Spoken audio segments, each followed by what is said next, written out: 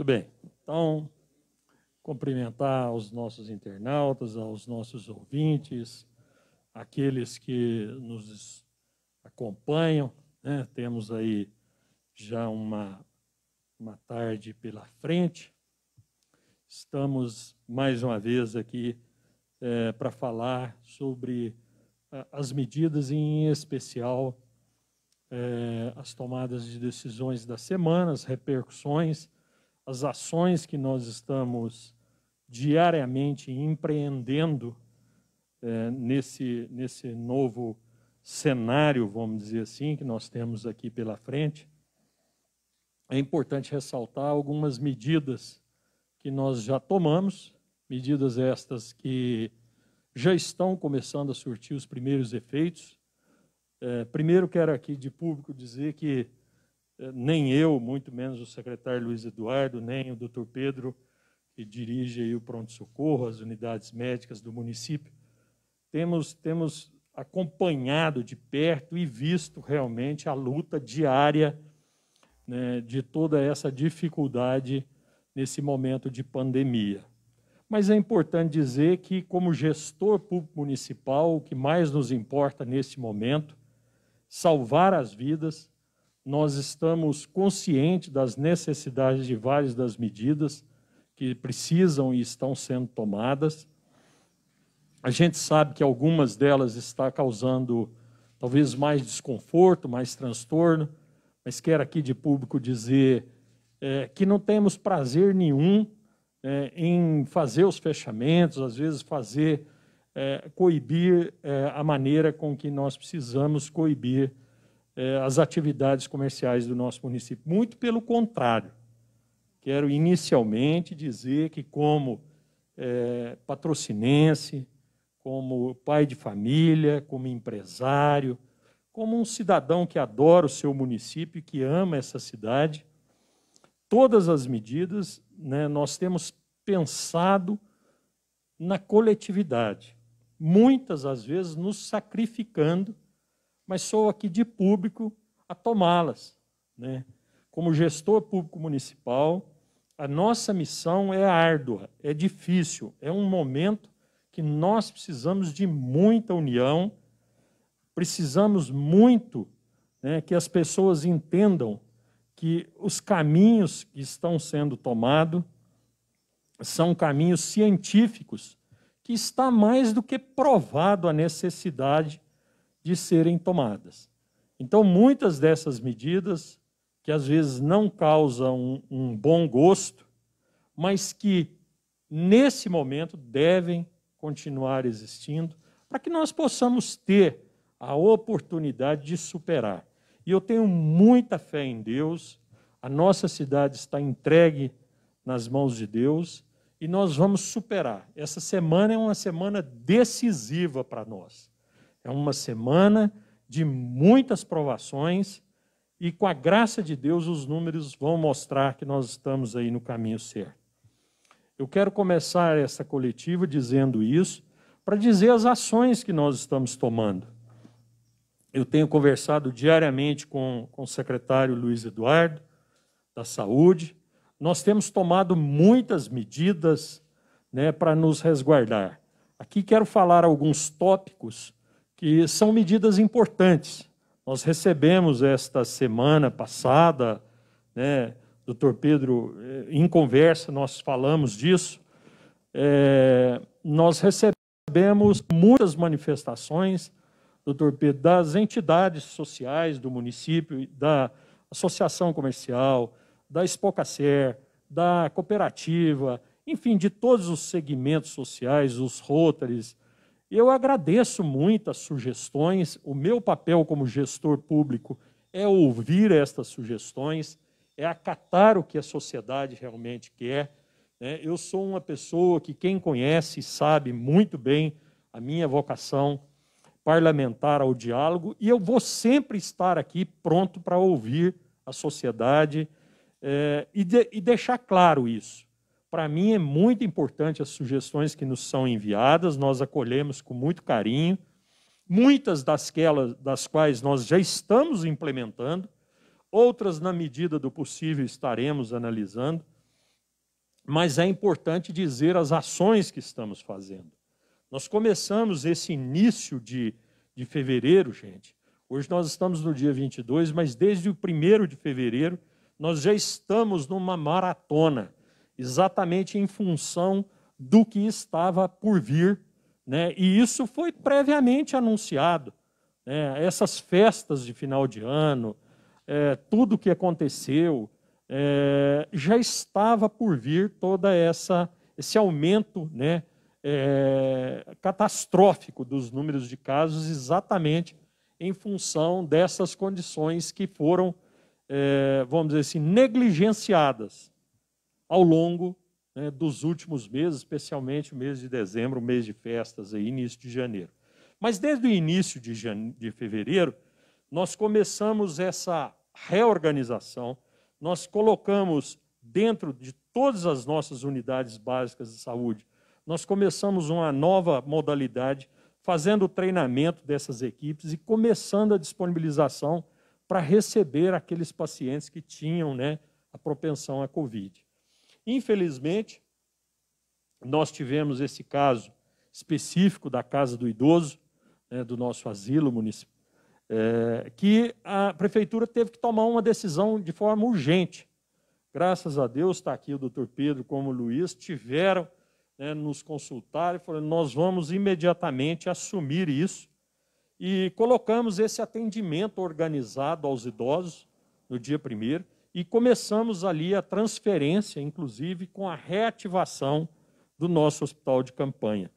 Eu vou falar daqui a pouco, inclusive, sobre o hospital de campanha de patrocínio, que está sendo referência para Minas, inclusive nós estamos sendo procurados pelo secretário de Estado, né, secretário Luiz, para poder ampliar aqui, mas a verdade é uma só nós temos um limite, não é só de aparelhos, nós temos um limite humano, de médicos na cidade, de pessoas para trabalhar, e esse sistema saturou. Infelizmente, é, essa situação chegou num limite. Nós temos hoje uma dificuldade tremenda que estamos superando, estamos conseguindo avançar, né, é, dando, como diz o outro, a volta por cima, da semana passada para cá, essas medidas começaram a surtir esse efeito. Então, isso tem mostrado que nós estamos no caminho certo. Essa atitude do dia 1 para cá nos levou, já no dia 6, como nós falamos aí, a, a reinstalação do nosso hospital de campanha. Só para que vocês tenham uma ideia de noção de gastos, e aqui eu acho fundamental falarmos isso, Hospital de campanha custa para nós, para o município, para os nossos cofres municipais, porque lá não tem um centavo do Estado e muito menos da União. Quase meio, mais de meio milhão de reais, ou seja, quase 600 mil reais vai ser o custo mensal para manter em funcionamento com aqueles leitos que nós temos semi-utensivos e leitos né, é, clínicos disponíveis. Né?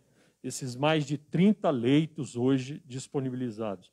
E eu faço questão de ressaltar a cada um de vocês que uma informação importantíssima.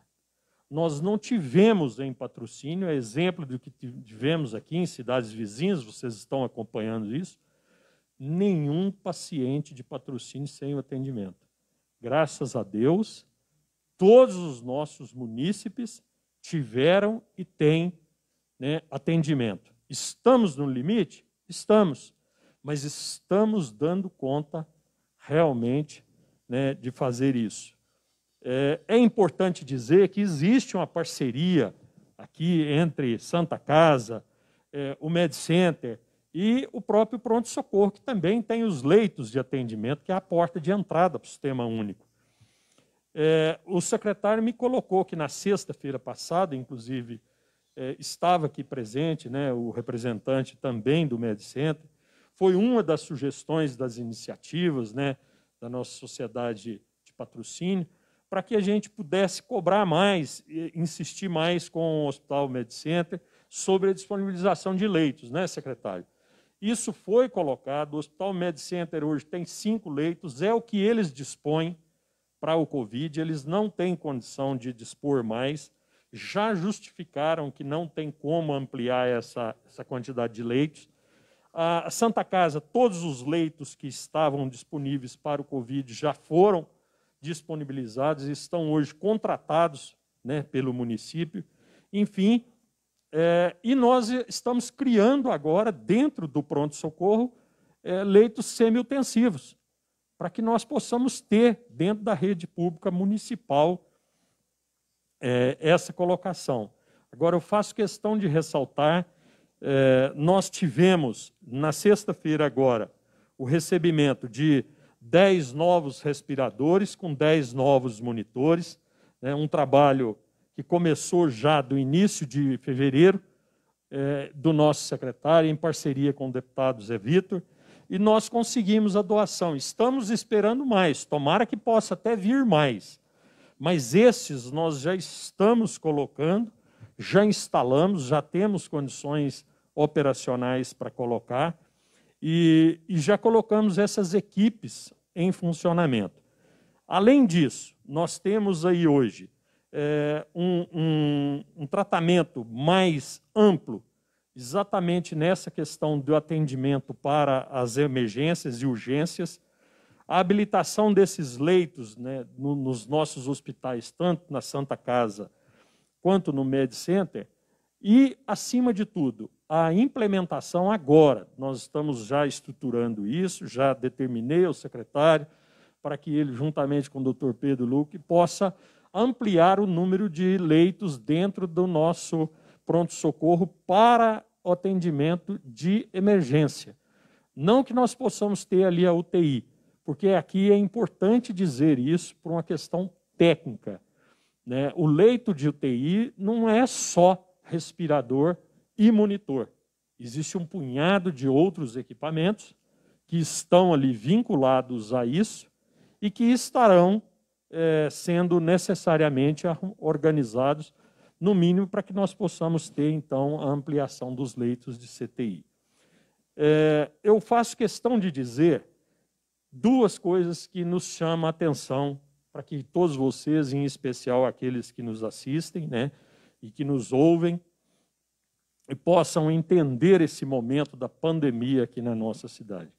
Nós temos um cuidado muito grande é, e estamos, no ano passado, nós recebemos e investimos né, nesse gasto, nessa, nessas despesas correntes, e na preparação de tudo isso, nós recebemos da União Federal mais de 15 milhões de reais com verbas para o Covid.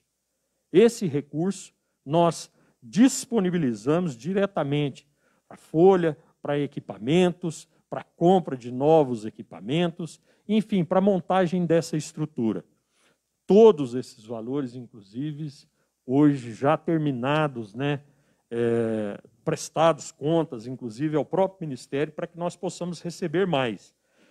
Nós temos cobrado do Estado, o Estado está omisso. Aqui quero fazer uma, uma cobrança pessoal ao nosso governador Romeu Zema, que inclusive esse vídeo possa até chegar a ele, porque eu tenho certeza que talvez não esteja sendo informado e nós precisamos do seu apoio aqui, governador Romeu Zema. O Estado nos deve hoje mais de 20 milhões de reais com débitos atrasados na saúde e que com certeza esses recursos hoje na nossa cidade estariam fazendo a grande diferença na manutenção e às vezes até na ampliação deste hospital de campanha que nós temos aí como proposta. Esses recursos em atraso são já cobrados, já é, anunciados, já repetidos, vamos dizer assim, mas é importante, governador Romeu Zema, de que realmente o senhor possa, nesse momento, né, colocar é, também nessa disponibilização para que a gente possa ter mais recursos para a Covid. Eu faço questão de dizer isso porque no ano passado Enquanto o recurso federal que veio destinado para a Covid chegou nesta soma, nós não recebemos mais do que 150 mil reais em específico para tratamento de Covid eh, via Estado. Então, O governo federal tem mandado recurso.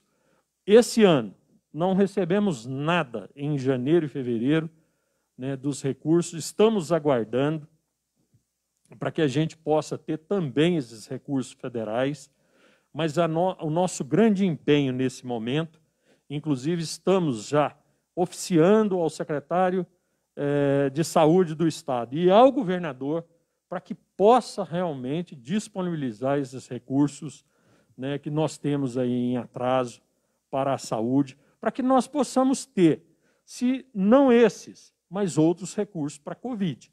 Porque, é, como eu disse, nós abrimos um hospital de campanha para tocarmos a nossa capacidade em patrocínio, com gasto de mais de 600 mil reais por mês, num momento em que o município não tem sequer as atividades econômicas, é muito difícil. É muito difícil para nós segurarmos isso, esta onda sozinho. Então, precisamos realmente do atendimento, precisamos realmente do compromisso do governo de Minas de nos ajudar nessa empreitada. E temos ciência, temos certeza de que tão logo nós mostramos isso ao governador, ele vai ter consciência para nos ajudar nessa empreitada aqui. E eu queria finalizar dizendo o seguinte: nós temos recebido diversas cobranças e diversas, é, vamos dizer assim, sugestões né, das pessoas, da sociedade organizada, para que a gente possa tomar medidas e, em especial, que a gente possa também estar tá vendo a questão do nosso comércio e funcionamento da nossa cidade. Eu quero aqui de público dizer que a partir de hoje nós estaremos avaliando dia a dia Amanhã vamos sentar novamente para analisarmos esses números de ontem, né, do final de semana e de hoje. Se tivermos uma melhora no cenário, quero aqui de público, assumir o meu compromisso. Não temos interesse nenhum, mas de espécime alguma, de penalizarmos, de prejudicarmos o andamento da nossa cidade. Mas hoje é uma situação dramática, que nós precisamos primeiro nos agarrarmos a Deus, termos a fé né, de que estamos no caminho certo de fazermos essa empreitada. Segundo, termos a tranquilidade né, de que vamos sobreviver e vamos conseguir superar tudo isso. Eu tenho muita fé em Deus, de que estamos no caminho certo, de que estamos superando todas essas adversidades e com essas medidas que nós já estamos tomando, eu tenho certeza de que ainda, se Deus quiser, antes do final de semana, nós já teremos boas notícias para a nossa querida cidade de patrocínio. Vou abrir agora as perguntas, por favor. Prefeito Fernando Cássio, difusora 98, boa tarde. O senhor tem receio de que patrocínio fique com a situação similar a municípios como Coromandel e Monte Carmelo, já que há mais de, mais de uma semana o patrocínio está com 100% dos leitos de UTI ocupados e que pacientes do nosso município comecem a ser transferidos para outras cidades? Esse é um receio de qualquer prefeito aqui da nossa região, não é do prefeito de patrocínio. Né? Infelizmente, Monte Carmelo, é, Serra do Salitre, é, Coromandel estão com essa saturação é, confirmada e não tem. Não, lá ainda, é, aqui, patrocínio tem uma, uma vantagem, eu não usaria a palavra certa, me desculpe, mas patrocínio tem uma, uma questão operacional, primeiro por ser sede de um consórcio, ter uma estrutura maior, ser uma cidade mais bem estruturada na questão da saúde, então ela tem condições de dar uma pronta resposta mais rápido. Né? Não que os coromandelenses não mereçam, muito pelo contrário, adoro a cidade de Coromandel, o prefeito, mas patrocínio nesse ponto está mais estruturada. Está mais estruturada, montou o hospital de campanha, que está dando respaldo, está dando suporte. E a dificuldade nossa hoje, além, é lógico que a dificuldade financeira é, como eu relatei a vocês, a falta de apoio, ela é fundamental, mas hoje o material humano também, nós não temos nem equipe humana para ampliar os números, porque se ampliássemos mais 30 leitos, teríamos gente para isso também, né? Prefeito, boa tarde. Jana Luiz, Rede Módulo FM. Prefeito, senhor está bem de saúde e dá para atender os pedidos do comércio? Bom, é, a minha saúde eu estou ótimo. Quero aqui tranquilizar. Muito obrigado pela pergunta, Jani. Vai me dar a oportunidade aqui. Já tinham dito que eu estava até em Dubai, né, Jani? Então, vou dizer aqui que não saí de patrocínio, muito pelo contrário. Doutor Pedro, nós tivemos uma certa suspeita, né, doutor Pedro? O doutor Pedro me acompanhou, teve, acompanhou aí durante a semana passada toda, tranquilo, é, a saúde está boa, né? Graças, isso eu dou é graças a Deus. Graças a, recebi orações demais, quero aqui até de público agradecer enormemente a quantidade de orações. Não foi você não, viu, Luiz? Você não ora por mim. Mas assim, muito obrigado a todos, as manifestações. Mas assim, estou excelente, estou prontinho e patrocínio estou aqui para fazer o meu papel como gestor público, como homem simples, humilde, e nós vamos sair disso. Com relação ao comércio, Janinha, amanhã nós estamos aqui, quer dizer, já estou organizando com o secretário, nós vamos né, tá agendado, 10 horas da manhã nós estamos agendados com as entidades comerciais. Vamos ouvir, o meu papel não é fugir, muito pelo contrário, é ouvir, organizar, dentro do possível, nós vamos tentar encaminhar. Como eu disse, a partir de hoje vai ser dia a dia. Talvez essa semana mesmo a gente consiga mudar esse decreto e, e voltar para a situação anterior, né? É, não liberar. É, nós temos uma quantidade de leitos de retaguarda que nós, como eu disse, a cidade de patrocínio está né, preparando. É, a dificuldade nossa hoje é realmente ela é grande, como é Uberlândia, como é todas as demais cidades, gente. É, mas nós estamos numa situação muito, muito controlada muito tranquila e muito organizada.